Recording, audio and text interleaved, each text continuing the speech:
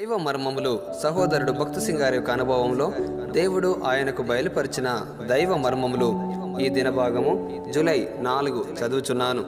చంచల బుద్ధి గలవారు వివేకులగుదురు సనుగువారు ఉపదేశమునకు లోబడుదురు.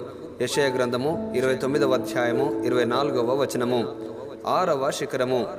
ఈ లోక సంబంధమైన గొప్ప పాండిత్యము సంపాదించిన వాడవైనప్పటికీ మతైసు వార్త పదమూడవ అధ్యాయం పదిహేడవ వచనం అనుసరించి పరసంబంధమైన లోతైన మర్మములు నేర్పించబడవలసిన అవసరత నీకున్నది.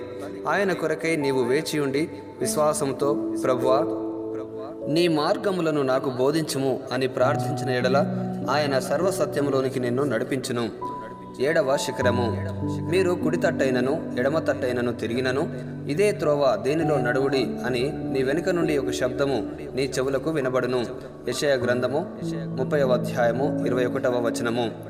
ఇదే త్రోవ దేనిలో నడువుడి అని మన వెనుక నుండి వినబడు దేవుని స్వరమును వినుచు అడుగడుగున దినదినమునకు మనము ఎక్కవలసిన గొప్ప పర్వత శిఖరము ఇదియే. మనమెంతో సులభముగా తప్పటడుగు వేయగలము. అయితే పై విధానములో ప్రభువు మనలను మన మెరుగని అనేక అపాయముల నుండి తప్పించును.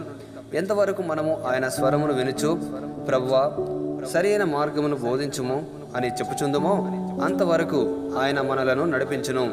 ఆ విధముగా ఉన్నత స్థలముల నెక్కుచు ఈ రక్షణ అనుభవించుటలో శిఖరము నుండి శిఖరమునకు దుముకుచు ఉందుము. ఎనిమిదవ శిఖరము.